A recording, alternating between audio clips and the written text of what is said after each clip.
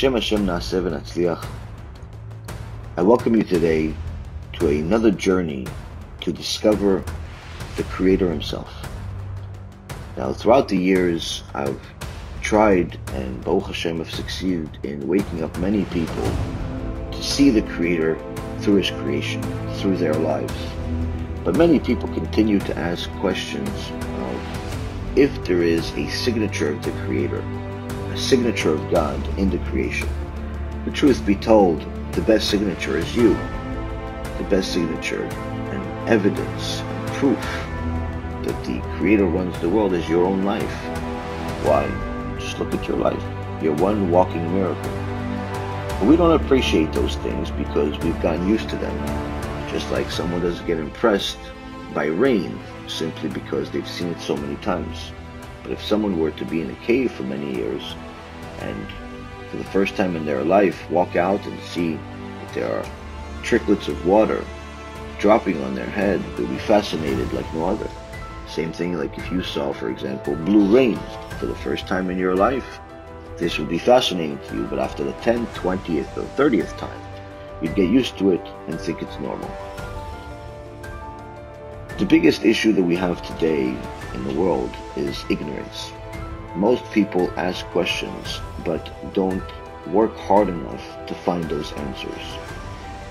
And because the times are of the essence, we have to do as much as we possibly can to put all of the information on a silver platter for you so you can once and for all recognize the creator in the creation identify that there is only one creator, there is only one document called the Torah that testifies to this creator in such a way where you know that it must have been something that was created by the creator itself.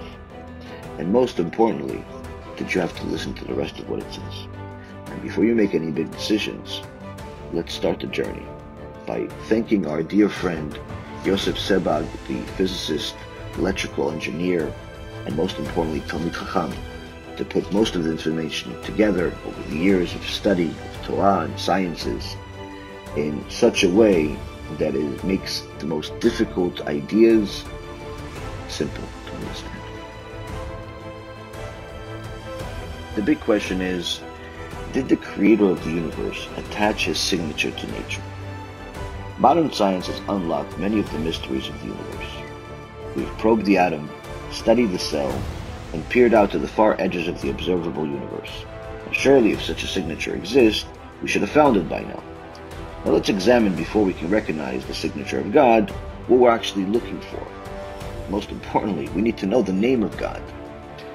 Now, the Torah reveals to us that the primary name of God is the Tetragrammaton. According to sources such as Sha'arei Kedusha, Part 4, Gate 3, this name encompasses everything. It's known as the Shema Etzem, or the essence name of God. The Tetragrammaton is spelled by the four letters Yud, Hey, Vav, and Hey. The latter three letters, the Hey, Vav, and Hey, spell the word Hoveh, which means present in Hebrew, while the first letter, the prefix Yud, indicates future tense. Thus, the meaning of the Tetragrammaton is that God is ever present, meaning He's eternal, He was, is, always will be.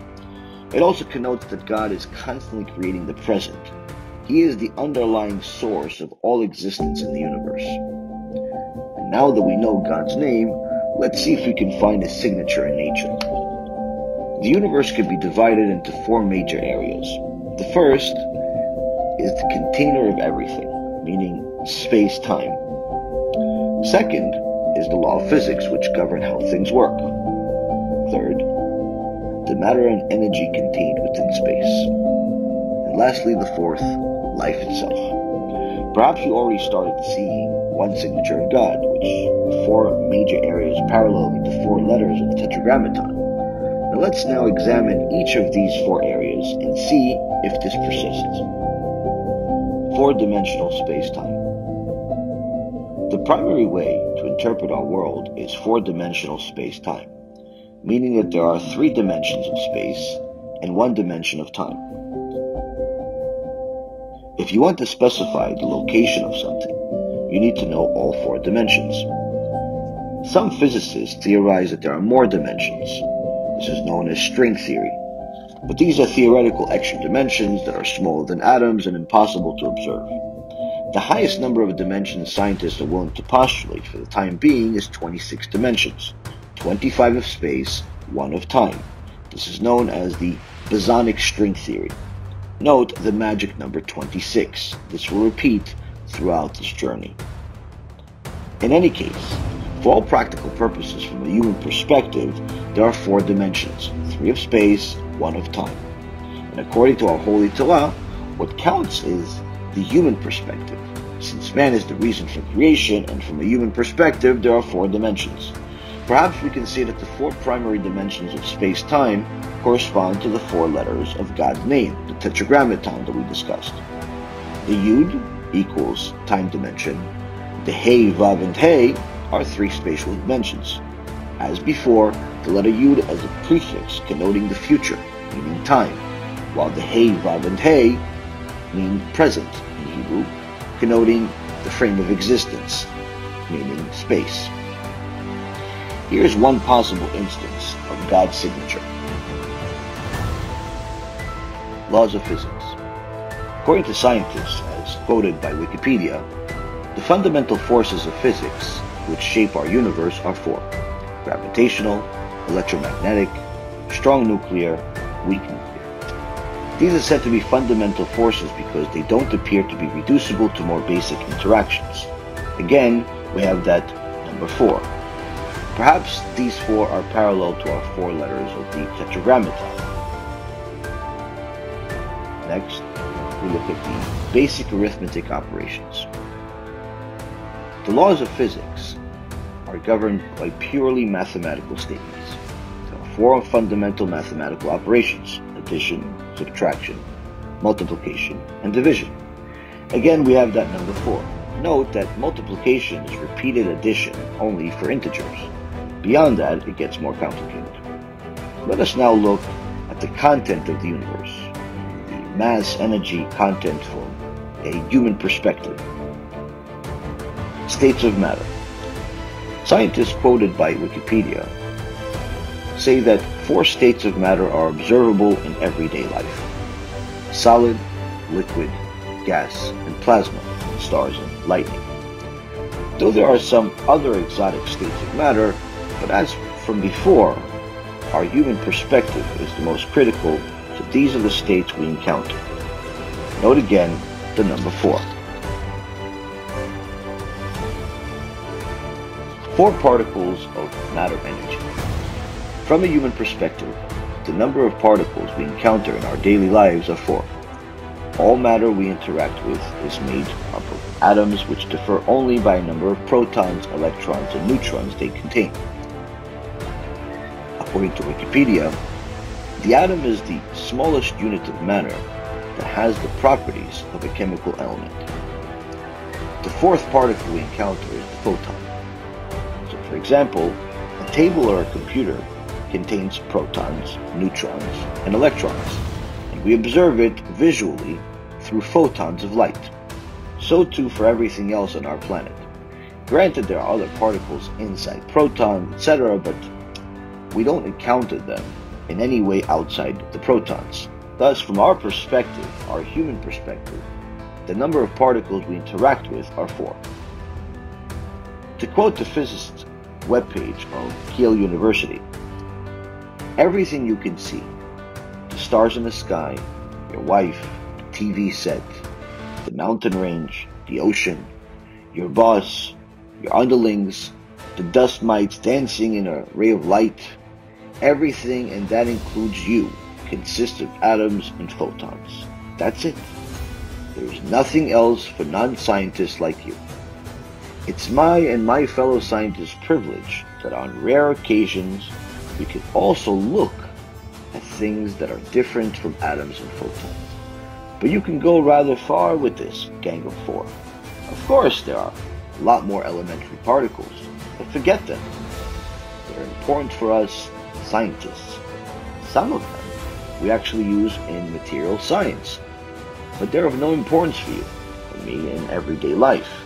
End quote.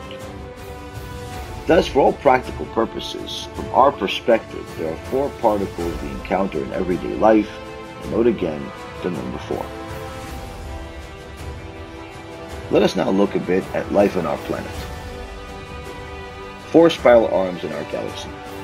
For many years it was believed that our Milky Way galaxy has only two spiral arms, but a recent 12-year study using radio telescopes of our galaxy has revealed that it actually has four spiral arms.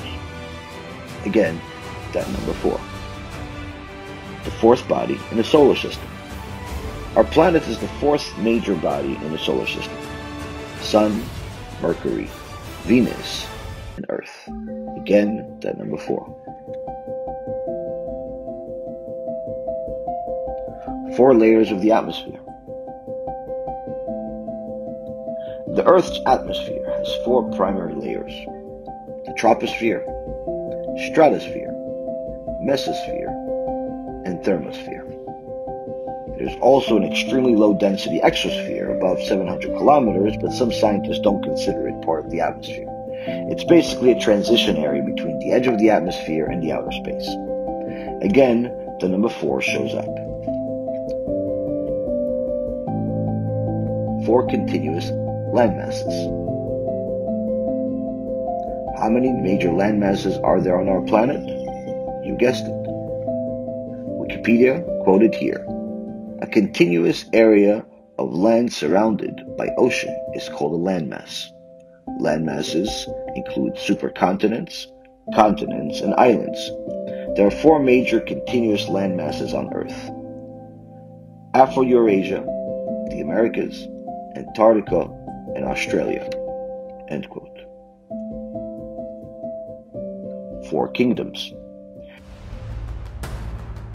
Everything on our planet can be divided into four kingdoms the inanimate, plant, animal, and humans. Inanimate objects are not alive. Plants and bacteria grow and reproduce. Animals also have consciousness and will. Humans have an abstract intellect and free will, meaning they have a higher level of consciousness. Thus, humans are able to choose to go against their animal side and can also contemplate the world and its creator. DNA is base 4. All known life on Earth is highly related using a common base 4 DNA genetic code.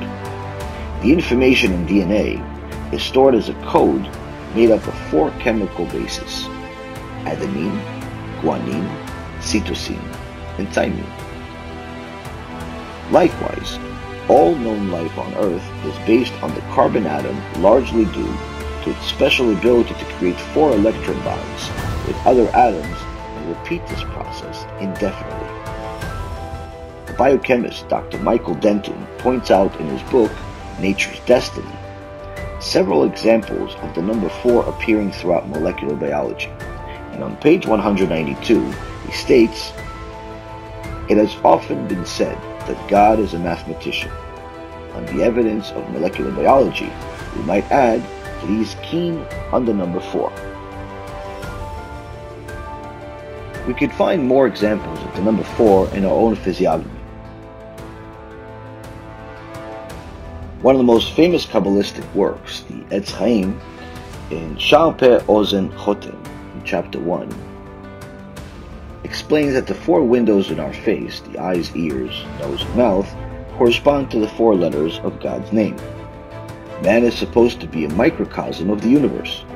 Likewise, our physical form is comprised of four main parts head, arms, legs, and body. The Kabbalah describes existence in terms of four levels of the soul and four main worlds.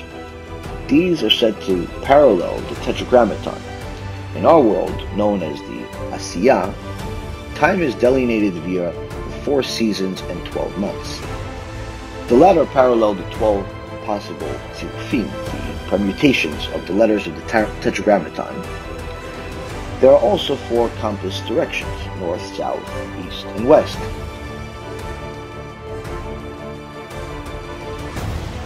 Axis of evil. Another sign of the Creator, on a macroscopic level is the symmetry of the universe around our solar system. Torah states that the purpose of creation is man. Interestingly, recent studies in the cosmic background radiation permeating the universe have revealed an axis of symmetry. Scientists expected the cosmic background radiation to be randomly distributed.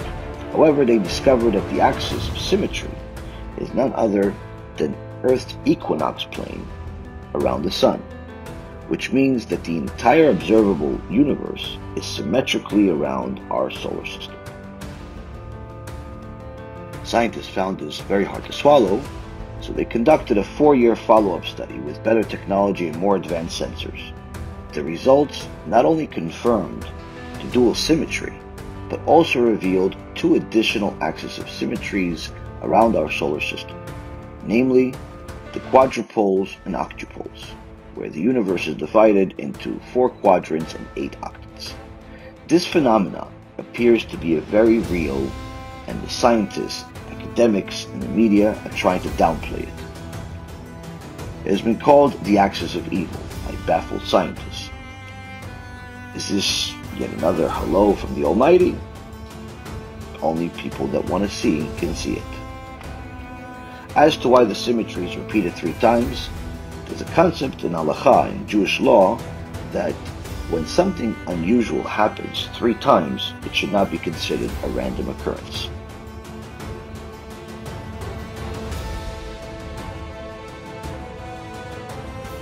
Now that we've seen many examples of the number 4, let us see if the gematria, or the numerical value of the tetragrammaton, appears in nature. The gematria value of the tetragrammaton is 26. The Yud is the tenth letter, the Hey is the fifth letter, Vav is the sixth, and the Hey again is the fifth. Thus, the gematria value of the Tetragrammaton is 10 plus 5 plus 6 plus 5, which equals 26. The size of the observable universe. According to Wikipedia, the diameter of the observable universe is 8.8 times 10 to the 26th power meters meaning 1 with 26 zeros. This number will not change with better telescopes. Scientists calculated it using the speed of light and the theoretical age of the universe since the Big Bang. Again, we see the magic 26, as in 10 to the 26th power meters. Note that we could have used light years and gotten a smaller number, but as before, from a human perspective, the meter is the natural measure to use. It is the standard international unit of measure of length on our planet for most human beings. As before, the universe is built around man from the Torah perspective. So what about the 8.8? Perhaps this is an allusion to the Gematria Ketana of 26, obtained by adding the digits 26, which is 2 plus 6, equaling 8. The number 8 also represents what transcends nature. For instance, the Brit Milah, meaning the circumcision, occurs on the eighth day. Circumcising the organ of reproduction represents that Jewish continuity is above the natural order. According to the natural order, the Jews should have disappeared long, too long ago. Yet, somehow, we managed to survive due to the unseen hand of God which intervenes in nature. Big Bang entropy. While scientists argue and theorize, only God knows the veracity of the Big Bang. Our Torah sources say that God created everything with an opening. This gives the possibility of a natural explanation for free will. But even within these openings, there are clear signs that God is behind everything. He's running the show. He always was. He always will be. According to Roger Penrose, the mathematical physicist at Oxford University, the initial state of the early universe had to be in an extremely unlikely configuration for it to exist in a state which can support atoms and life. He went through the toil of calculating the odds of this happening by using a black hole model and came up with a staggering 1 in 10 to the power of 10 to the power of 123. Now this is an unbelievable number, quite literally It's not 1 with 123 zeros, but rather 1 with 10 to the power of 123 zeros. Multiply 10 by itself 123 times. That's the number of zeros in this number. It's such a huge number that if you were to write it out in a normal form, it would fill out every single book, hard drive, and CD on the planet, and this would still not be enough. Penrose himself said that if you were to put a zero in every atom in the observable universe, it would still fall short of writing this number down. To get a feel for these odds, imagine a combination lock with four, not four numbers to crack, but rather 10 to the power of 123 numbers to crack. Good luck with that one. If we take another look at the number 10 to the power of 10 to the power of 123, we also see that 10 plus 10 plus 1 plus 2 plus 3 equals 26. This is the numerical value of the tetragrammaton.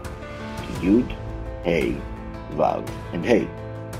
Likewise, if we sum all the digits 1 plus 0 plus 1 plus 0 plus 1 plus 2 plus 3 equals 8, which equals 2 plus 6. The Gematria Ktana of 26. Is this another hello from the Almighty? Another small little signature? The Sun. The Sun is the primary source of energy and heat for life on Earth. According to Wikipedia, it releases an estimated 3.8 times 10 to the power of 26 watts of energy in the form of light and other forms of radiation. The watt is the international standard measure of power for most human beings on the planet. Note again the number 26 showing up in 10 to the power of 26 watts. The rotation of the Sun to the same apparent position as viewed from Earth is 26.24 days, known as the synodic rotation. There are 26,000 years, I mean, this is rounded off, in the precession of the equinoxes, colloquially known as the Great Astronomical Year. The Sun is also 26,000 light years away from the supermassive black hole at the center of our galaxy, located at the longitudinal degree of 26 Sagittarius. 26 fundamental constants of the universe. The fundamental constants of the universe describe the strength of all the forces, interactions, and physical properties of everything in our universe. These fundamental constants determine the structure of everything in our universe, from quarks, atoms, electron transitions, to galaxy clusters and stellar explosions. Alter any of these numbers even slightly, the universe would be radically different to us. Most likely, no life of any kind could possibly exist. How many fundamental constants are there?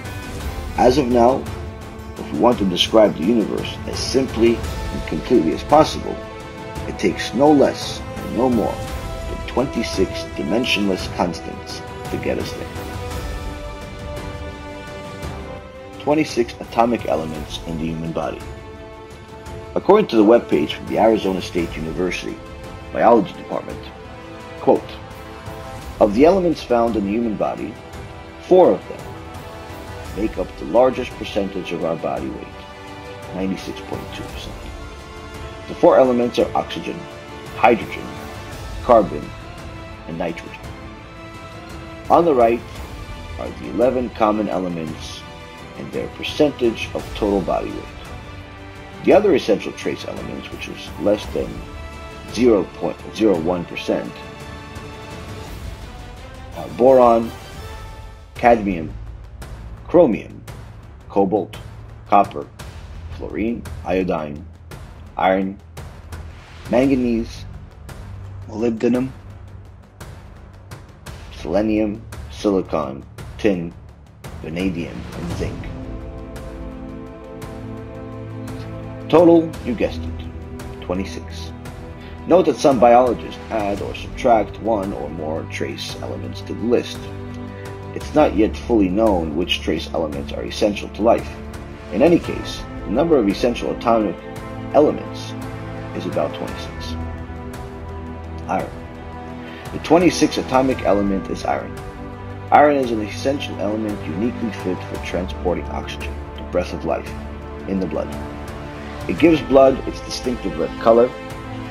The Talmud states that man and woman provide the body while God provides the soul.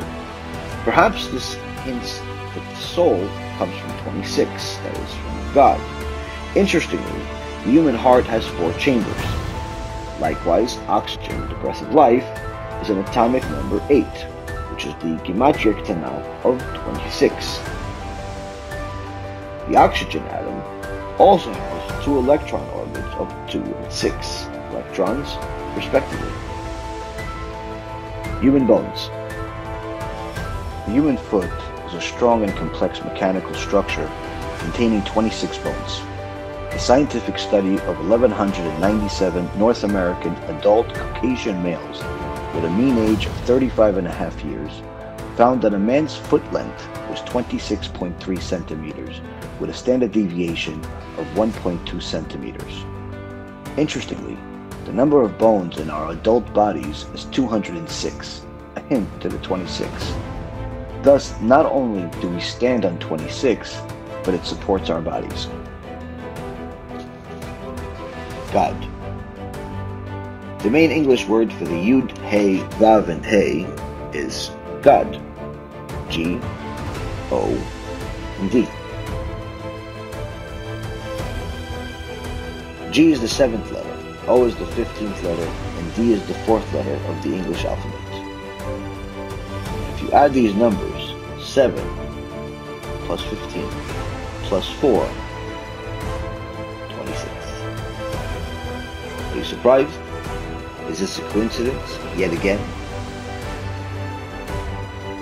The number pi. In mathematics, the most famous constant is the number pi, which is the ratio of the circumference of a circle divided by its diameter. Now, you probably remember it as one of the first calculations learned in school. And since pi goes on forever, we take the first eight numbers and round it off. As before, 8 is the gematria Ketana of the Tetragrammaton. The first eight numbers are 3.1415926. Rounding it off, we get pi, which is 3.141593. Now, if you add these numbers, 3 plus 1 plus 4 plus 1 plus 5 plus 9 plus 3. What do you get? 26. Notice what number shows up at the exact place we rounded off pi 3.1415926 again 26 a little bit more math for you in mathematics 26 is unique in that it's the only it's the one and only integer which is exactly between a squared number and a cubed number. Namely, 3 to the power of 3 equals 27. 5 squared, 25. What's between 27 and 25? 26. There's no other integer besides 26, which is exactly between a square and a cube. 3 cubed, 5 squared. Middle, 26. Notice also that between 3 and 5 that magic number 4.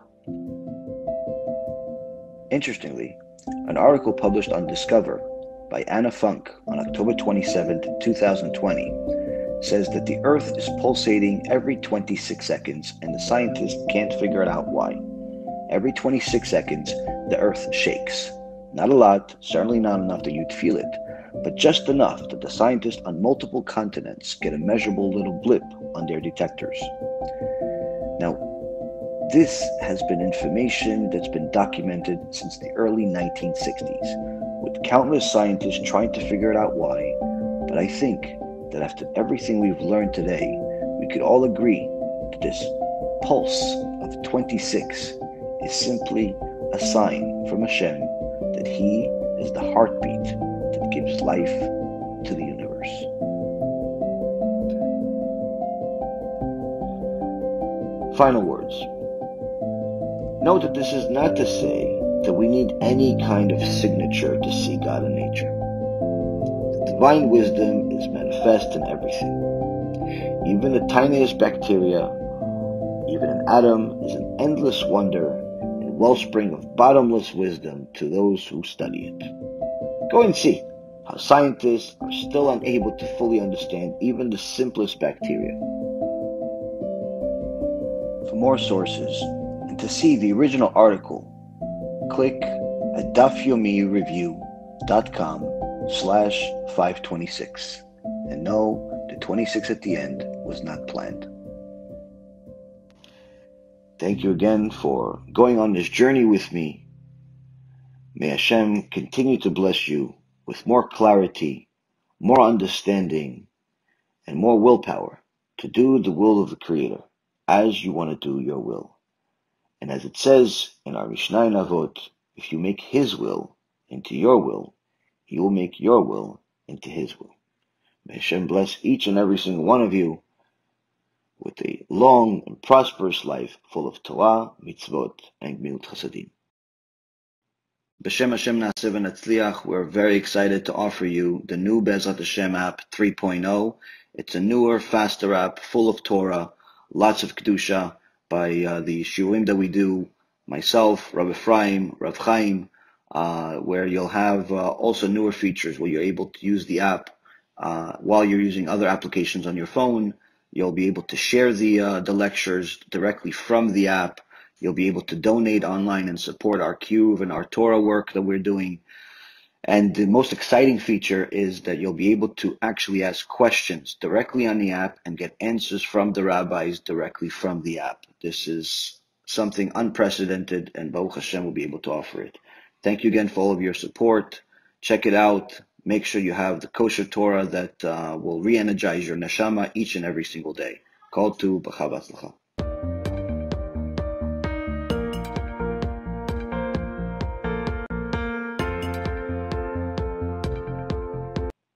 manteau